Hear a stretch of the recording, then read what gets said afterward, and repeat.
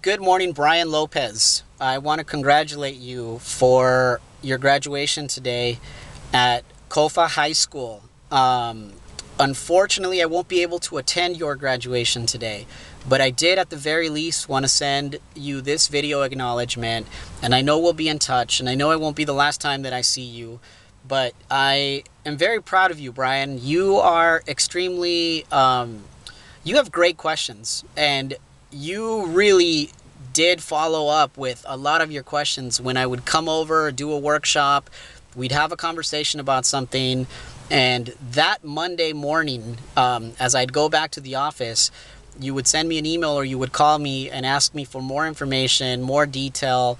Um, you know, you would ask me for websites that you could research. You will do very well because you have a lot of follow through and you are very determined. You have a great focus.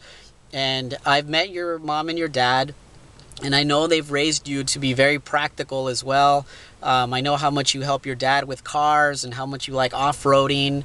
Um, you know, and I think that you have a good balance and you, you are a very great person as well. And I'm very honored to have met you.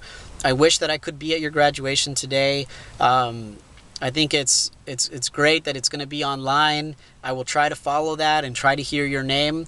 Um, but I just want you to know that I'll be in touch. And as you go to college, um, you know, any questions that come up in the future, um, I will always be here for you and the rest of the group. So um, have a great time tonight. Um, quiero felicitar también a la familia López.